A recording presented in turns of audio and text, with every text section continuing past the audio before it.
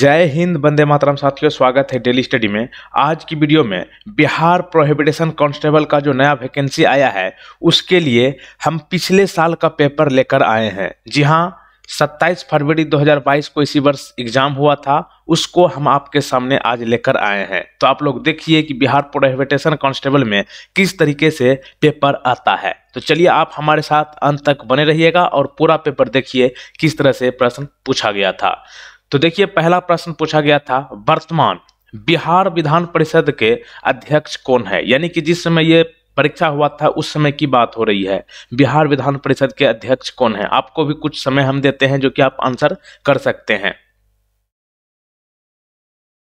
तो देखिए, वर्तमान बिहार विधान परिषद के अध्यक्ष की बात करें, एग्ज़ाम के टाइम में तो अवधेश नारायण सिंह थे। तो ऑप्शन बी यहाँ पे सही जवाब है। तो देखिए, अवधेश नारायण सिंह 23 अगस्त 2022 तक बिहार की वर्तमान विधान परिषद के अध्यक्ष थे।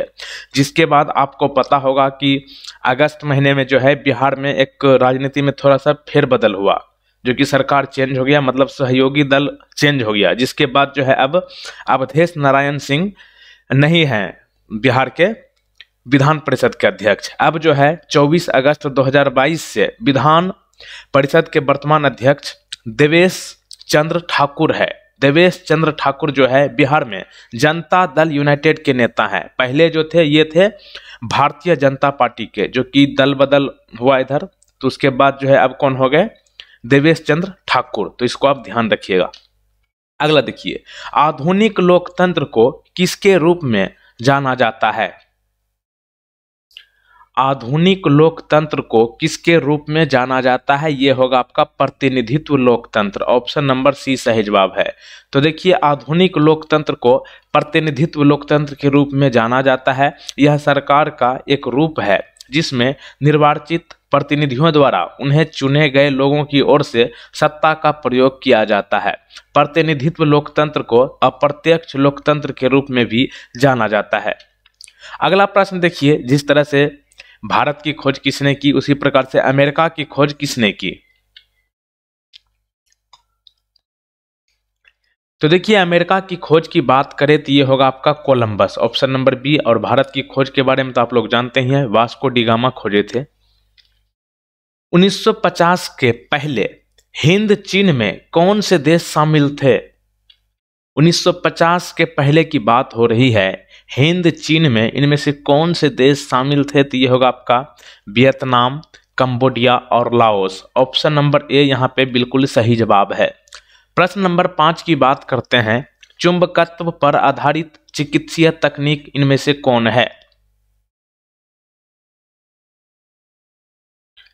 चुंबकत्व पर आधारित चिकित्सीय तकनीक इनमें से एम आर आई का नाम आपने सुना होगा। यही है आपका चुंबकत्व पर आधारित एक टेक्नोलॉजी से ये संबंधित है M R I M R I का पूरा नाम क्या होता है? Magnetic resonance imaging. इसका अर्थ चुंबकीय अनुनाद प्रतिबिंबन होता है। और इसका उपयोग किस लिए किया जाता है? एम आर आई का। ये जो है, शरीर के विभिन्न भागों में ट्यूमर, सिस्ट और अन्य विसंगतियों को स्कैन करने के लिए किया जाता है। अगला देखिए, राजनीतिक दल कहाँ में आवश्यक है?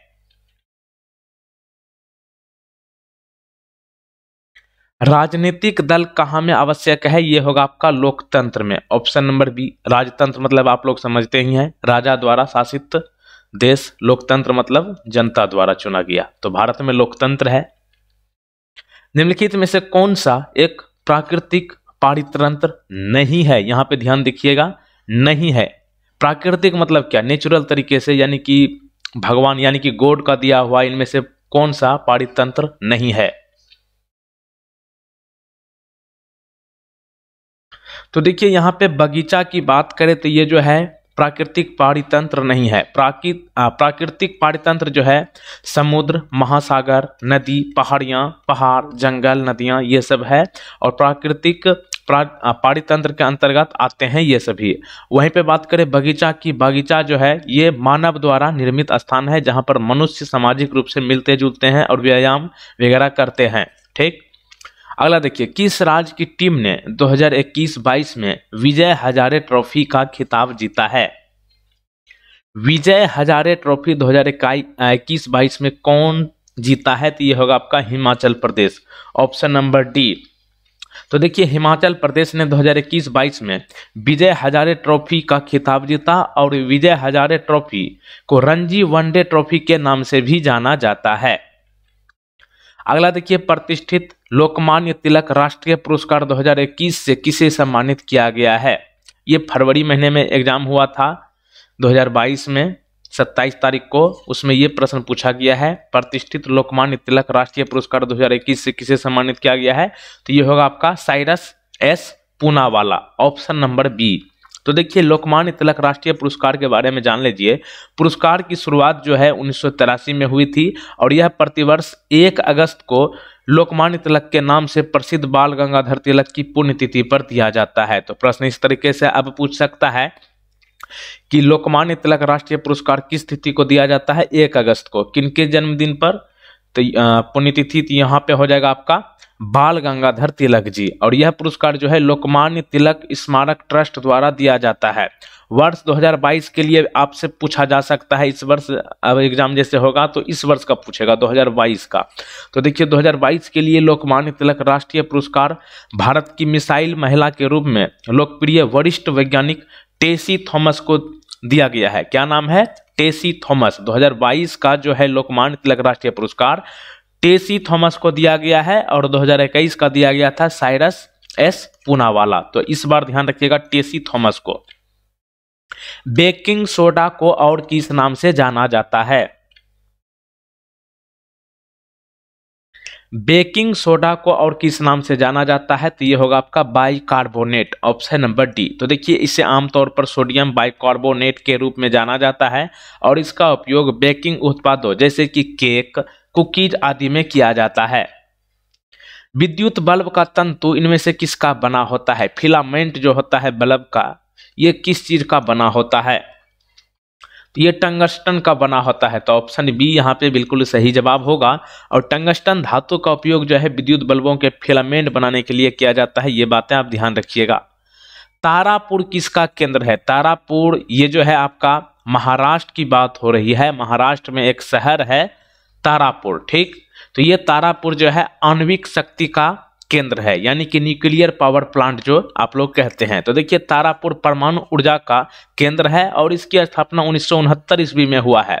और यह जो है बोईसर महाराष्ट्र के पास स्थित है और यह भारत का सबसे पुराना परमाणु ऊर्जा संयंत्र है। तो प्रश्न इस तरह से पूछेगा कि भारत का सबसे पुराना परमाणु ऊर्जा संयंत्र कौन है?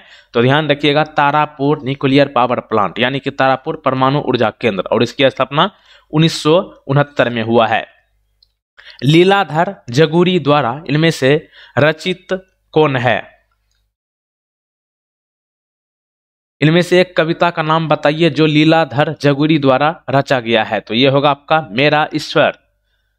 तो ऑप्शन नंबर यहाँ पे सी सही जवाब है। इनके बाद बात करें, अगर पूरा हिंदुस्तान मिलेगा, ये किसने रचा है? तो ये कविता जो है, पूरा हिंदुस्तान मिलेगा। केदारनाथ अग्रवाल द्वारा रचित है। बादल राग की बात करें तो ये बादल राग निराला जी की प्रसिद्ध कविता है। और छाया मत छूना, इस कविता के रचयिता श्री गिरिजा कुमार माथुर जी हैं। भारतीय सशस्त्र बलों के पहले चीफ ऑफ़ डिफेंस स्टाफ कौन थे? इसमें तो आप लोग 99 प्रतिशत आंसर कर पाइएगा, क्योंकि नाम आपने सुना होगा जनरल बिपिन रावत जी, जिनका की निधन 15 दिसंबर 2021 को हेलीकॉप्टर के दौरान हो गया था। तो ध्यान रखिएगा, भारतीय सशस्त्र बलों के पहले चीफ ऑफ़ डिफेंस स्टाफ जो है, जनरल बिपिन रावत जी थे। जनरल बिपिन रावत भारतीय राष्ट्रीय सशस्त्र बलों के पहले चीफ ऑफ़ डिफेंस थे और उन्हें 30 दिसंबर 2019 को पहले चीफ ऑफ़ डिफेंस स्टाफ के रूप में नियुक्त किया गया था और 15 दिसंबर 2021 को उनकी हेलीकॉप्टर घटना में मृत्यु हो गई। और आगे बढ़ने से पहले बता दें कि आप लोग जितने भी बिहार प्रोहिबिटेशन कांस्टेबल के स्टूडेंट हैं, आप लोग वीडियो को फटाफट लाइक कर लीजिएगा। यहाँ पे सबसे इम्पोर्टेंट नोटिस ये है कि जो लोग बिहार प्रोहिबिटेशन कांस्टेबल का पूरा पेपर देखना चाहते हैं, यानी कि सौ में सौ तो आप बढ़िया से मॉक टेस्ट दे सकते हैं। वेबसाइट पर जाइए W W dot daily study dot co dot in यहाँ पर आपको, आपके एग्ज़ाम से रिलेटेड आपको यहाँ पे क्वेश्चन यानी कि पिछले साल का पेपर मिल जाएगा। तो जाइए W W dot daily study dot co dot in और जो लोग पहली बार यहाँ पे आए हैं चैनल को तुरंत सब्सक्राइब करके बेल आइकन को क्लिक कर लीजिए, उसके बाद ऑल नोटिफिकेशन को क्लिक कर लीजिएगा। चलिए आगे चलते हैं। अगला प्रश्न है फणीश्वर नाथ रेणु द्वारा रचित कहानी इनमें से कौन है? फणीश्वर नाथ रेणु द्वारा रचित कहानी है लाल पान की बेगम, ऑप्शन नंबर बी। तो देखिए, लाल पान बेगम की आपको ध्यान रखना है कि ये फणीश्वर नाथ रेणु द्वारा रचित है और यहाँ पे एक पूछा जाता है, सूखी नदी का पुल। ये कहानी जो है, इसके रचयिता है रामधारी सिंह दिनकर, जिन्हें कि भारत का राष्ट्रीय कवि कहा जाता है और ये आपका बिहार से संबंधित है। दो बैलों की कथा, ये भी पूछा जाता है। ये देखिए, दो बैलों की कथा जो है 1931 में। मुंशी प्रेमचंद द्वारा रचित हिंदी कहानी है और उसने कहा था, ये भी एक लिखा गया है कहानी 1915 में, चंद्रधर शर्मा गुलेरी द्वारा। अगला देखिए, संयुक्त राष्ट्र संघ का मुख्यालय कहाँ स्थित है? संयुक्त राष्ट्र संघ का मुख्यालय की बात करें तो ये होगा आपका न्यूयॉर्क न्यूयॉर्क जो है, यूनाइटेड स्टेट अमेरिका का एक शहर है। यहीं पे है संयुक्त राष्ट्र संघ का मुख्यालय। अगला देखिए, साइंस का हीमोग्लोबिन वर्णक किसमें पाया जाता है? हीमोग्लोबिन वर्णक पाया जाता है आरबीसी में। ऑप्शन नंबर ए यहाँ पे सही जवाब है। आरबीसी का पूरा नाम क्या होता है? रेड ब्लड सेल्स ठीक? और आरबीसी में हीमोग्लोबिन पाया जाता है। इसमें हीम वर्णक और ग्लोबिन प्रोटीन पाया जाता है। यह ऑक्सीजन के परिवहन में सहायक होता है। पराग का एक फूल से दूसरे फूल में निम्नलिखित में से किस माध्यम द्वारा स्थानांतरण हो सकता है?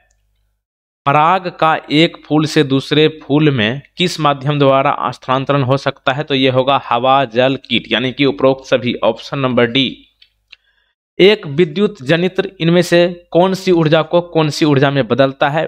प्रश्न को आप ध्यान से पढ़िए और वीडियो को रोक करके आंसर कीजिए। एक विद्युत जनित्र, जिसे कि हम लोग डायनमो के नाम से जानते हैं ये जो है, कौन सी ऊर्जा को कौन सी ऊर्जा में बदलता है तो ये होगा आपका यांत्रिक ऊर्जा को विद्युत ऊर्जा में। तो देखिए, एक विद्युत जनरेटर एक उपकरण है जिसका उपयोग यांत्रिक ऊर्जा को विद्युत ऊर्जा में बदलने के लिए किया जाता है और इसे डायनमो के रूप में भी जाना जाता है। डी आई मेंडलिप को इनमें से किस चीज़ के लिए श्रेय दिया जाता है? मेंडलिप का नाम सुनते ही आपको क्या आना चाहिए यहाँ पर? डी आई मेंडलिप का श्रेय जो है, तत्वों की आवर्त सारणी के लिए दिया जाता है। तो ऑप्शन नंबर सी यहाँ पे सही जवाब होगा। 2011 की जनगणना के अनुसार भारत में साक्षरता दर लगभग कितना प्रतिशत है? 2011 में देखिए जनगणना हुआ था, ये प्रश्न पूछा जा चुका है। बिहार प्रोहिबिटेशन कांस्टेबल 27 फरवरी 2022 को। तो 2011 की जनगणना के अनुसार भारत में साक्षरता दर जो है चौहत्तर प्रतिशत लगभग है। तो ऑप्शन डी यहाँ पे सही जवाब है।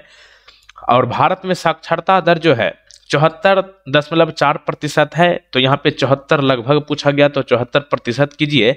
और इसमें प्रश्न आपसे इस बार इस तरह से पूछ सकता है कि भारत में साक्षरता दर 2011 की जनगणना के अनुसार पुरुषों के लिए कितना प्रतिशत है? तो ध्यान रखिएगा, बेरासी दशमलव चौदह प्रतिशत। यानी कि चौहत्तर प्रतिशत का आप जो है बेरासी प्रतिशत पुरुष के लिए इसमें जो है बेरासी प्रतिशत पुरुष और पैंसठ प्रतिशत महिला शामिल है। तो ध्यान रखिएगा, कुल मिलाकर यहाँ पे चौहत्तर प्रतिशत है। अगला देखिए आनुवंशिकी के जनक किन्हें कहा जाता है?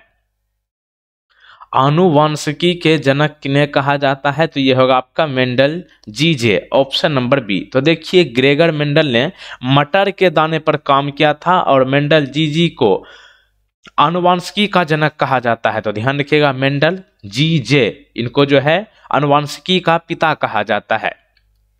प्रथम विश्व युद्ध कब शुरू हुआ था? प्रथम विश्व युद्ध की बात करें, फ़र्स्ट बैटल तो ये 1914 यानी कि 1914 में हुआ था। और ये जो है प्रथम विश्व युद्ध एक वैश्विक संघर्ष था जो यूरोप में शुरू हुआ और 28 जुलाई 1914 से 11 नवंबर 1918 तक चला था। समुद्र का कुछ भी नहीं होता, देखिए यहाँ पे ध्यान रखिएगा, ये सब जो है शब्द वाक्य है। समुद्र का कुछ भी नहीं होता, मानो अपनी अबूझ भाषा में कहता रहता है। ये पद प्रतीक किसका है?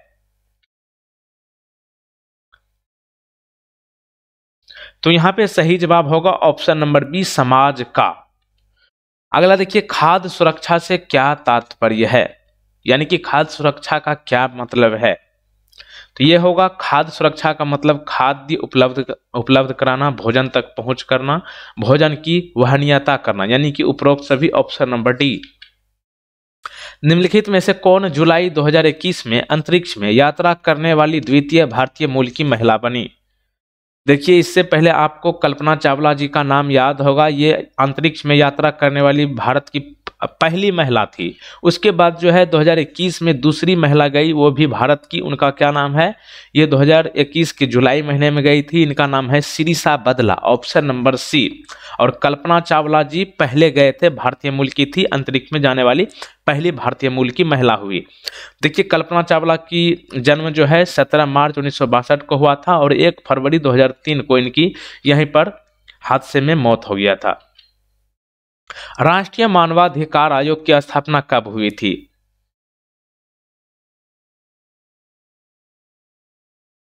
राष्ट्रीय मानवाधिकार आयोग की स्थापना उन्नीस सौ तिरानवे में हुई थी तो ऑप्शन डी यहाँ पे सही जवाब है। और तारीख भी आपसे पूछा जा सकता है, राष्ट्रीय मानवाधिकार आयोग का गठन जो है 12 अक्टूबर उन्नीस सौ तिरानवे को हुई थी।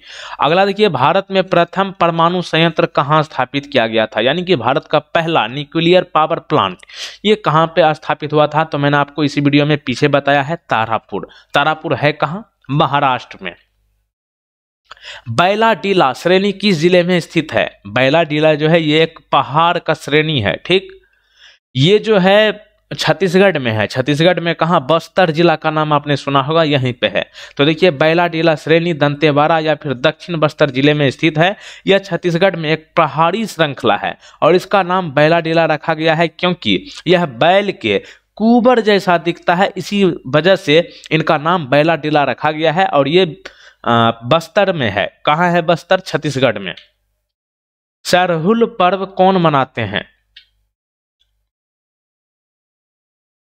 सरहुल पर्व की बात करें तो ये मुंडा जनजाति मनाते हैं तो ऑप्शन नंबर बी यहाँ पे सही जवाब है। तो देखिए सरहुल त्यौहार झारखंड राज्य में मुख्य रूप से आदिवासी समुदाय द्वारा मनाया जाता है और यह झारखंड क्षेत्र के उराव मुंडा सबसे विशेष रूप से और हो जनजाति द्वारा पाया जा आ, मनाया जाता है। कौन जनजाति? हो एक जनजाति है झारखंड में इनके द्वारा यह धूमधाम से मनाया जाता है। और सरहुल का अर्थ क्या है? वृक्षों की पूजा करना। अमन अमन फस किस से संबंधित है? यानी कि अमन फ़सल यहाँ पे लिखा जाना चाहिए। अमन जो है किस फ़सल से संबंधित है? कौन सी फ़सल से ये अमन शब्द संबंधित है? ये होगा धान से। तो ऑप्शन डी राइट आंसर अगला देखिएगा, स्वयं सहायता समूह में ऋण संबंधी अधिकांश निर्णय किसके द्वारा लिए जाते हैं? स्वयं सहायता समूह का नाम आप लोगों ने सुना होगा। ये ऋण देने वाली एक ग्रुप कह सकते हैं। इसका निर्णय किसके द्वारा लिया जाता है? तो यहाँ पे सही जवाब होगा, सदस्यों के द्वारा ही। तो ऑप्शन बी बिल्कुल सही जवाब होगा। अगला देखिए, इनमें से कौन सी विकल्प में सही विलोम युग्म है? यानी कि उसका उल्टा शब्द किसके साथ यहाँ पे है? सही। तो यहाँ पे देखिए, सही विकल्प की बात करें, उल्टा, यानी कि विलोम शब्द तो ये होगा गौरव का लाघव। ये बिल्कुल सही है। बाकी के अनादर की विलोम शब्द की बात करें तो ये होगा आदर। अनूठा की बात करें तो अनूठा का विलोम शब्द होगा सामान्य और गौरव का लाघव। तो ये यहाँ पे सही जवाब है, बाकी के दोनों गलत है। तो ऑप्शन सी सही जवाब होगा, गौरव का विलोम शब्द लाघव। अगला देखिए, पृथ्वी की कुल सतह जो पानी से घुरा हुआ है, वो कितना प्रतिशत है? यानी कि पूरे पृथ्वी पर कितना प्रतिशत पानी है? तो ये होगा आपका सेवेंटी फाइव परसेंट, यानी कि पचहत्तर प्रतिशत। चार भाग में, तीन भाग जो है पानी ही है। उसके बाद एक भाग में हम लोग का जंगल वगैरह और हम लोग रहते हैं। तो पचहत्तर प्रतिशत पानी है और पचहत्तर प्रतिशत में भी मीठा पानी की मात्रा आपसे पूछा जा सकता है तो ध्यान रखिएगा, दो दशमलव पाँच प्रतिशत और खारा पानी, ये संतानवे दशमलव चार प्रतिशत, यानी कि साढ़े संतानवे प्रतिशत कह सकते हैं। खारा पानी मतलब महासागर और समुद्र। एक कहानी यह भी, ये किसके द्वारा रचा गया है?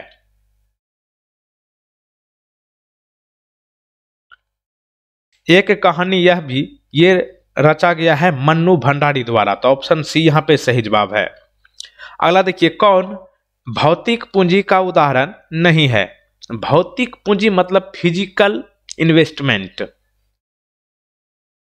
तो ये होगा आपका, नहीं की बात हुई है तो शिक्षा व प्रशिक्षण जो है, ये फ़िज़िकल इन्वेस्टमेंट नहीं है, यानी कि भौतिक पूंजी नहीं है। बाकी की बात करें, यंत्र व मशीनें। तो ये आप लोग छू सकते हैं, देख सकते हैं।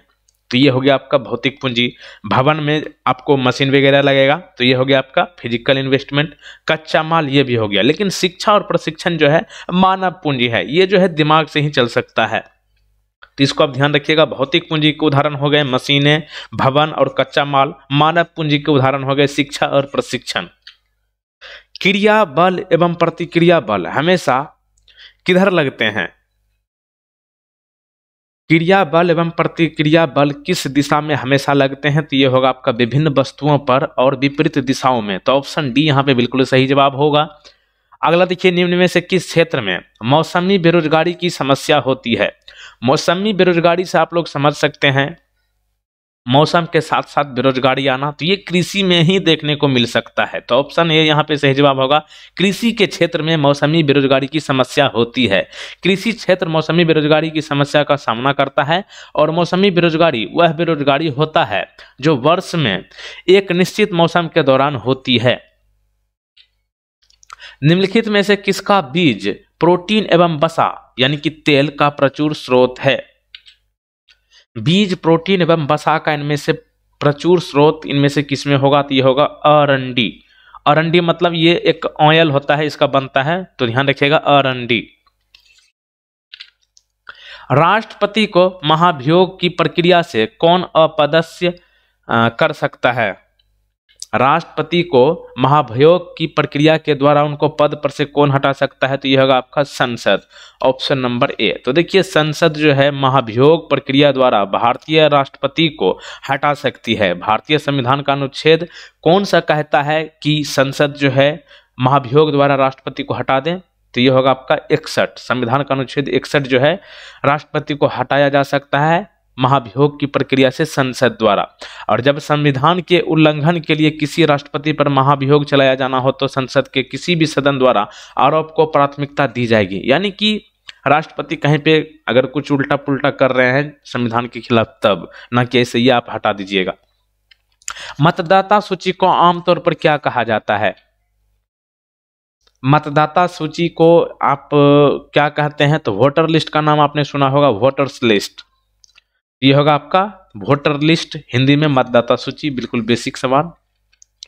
राज्यसभा का सभापति अपना त्याग पत्र किसको संबोधित करता है? यानी कि राज्यसभा का सभापति जब ये रिजाइन देते हैं, तीन, ये अपना त्याग पत्र किनको देते हैं? राष्ट्रपति को। तो ऑप्शन ए यहाँ पे सही जवाब होगा। निम्नलिखित में से कौन दक्षिण अफ्रीका के रंग भेद आंदोलन से संबंधित है? रंग भेद आंदोलन से बात करें तो होगा आपका Nelson Mandela, option B. Pandit Birju Maharaj का संबंध किस नृत्य से है? बिरजू महाराज जी का नाम आपने सुना होगा, ये पंडित बिरजू महाराज जी जो है कथक से संबंधित है, ऑप्शन बी। अच्छा कथक शब्द का क्या मतलब है? तो देखिए, कथक शब्द जो है कथा शब्द से बना है और इसका अर्थ कहानी होता है और पंडित बिरजू महाराज कथक से संबंधित है और पंडित बिरजू महाराज जी का नाम पूरा नाम यानी कि ब्रिज मोहन नाथ है। ब्रिज ब्रिज मोहन नाथ मिश्रा, जो कि बाद में पंडित बिरजू महाराज जी के नाम से जाना गया। एक कंपनी जो एक से अधिक देशों में उत्पादन का स्वामित्व रखती है या नियंत्रण करती है, ये क्या कहलाती है? वैसा कंपनी जो एक देश से ज़्यादा देशों में अपनी कंपनी को मतलब उत्पादन करती है, यहाँ उसको क्या कहेंगे? बहुराष्ट्रीय कंपनी कहेंगे ऑप्शन सी कौन से समूह के सभी शब्द कमल के पर्यायवाची है? यानी कि कमल के पर्यायवाची वाले ग्रुप को चुनना है, इनमें से कौन है? कमल का पर्यायवाची शब्द वाला। सरोज, पंकज, अरविंद। ऑप्शन नंबर सी यहाँ पे बिल्कुल सही जवाब होगा। कमल का पर्यायवाची सरोज, पंकज, अरविंद होगा। दाल का बहुवचन शब्द क्या है? देखिए, ये कुछ प्रश्न हिंदी का है। दाल का बहुवचन की बात करें दालों का ना कीजिएगा, दालों। ध्यान रखिएगा, ये होता है दालें। ठीक तो ऑप्शन नंबर डी देशों के बीच विकास की तुलना करने हेतु उपयोगी मापक क्या है?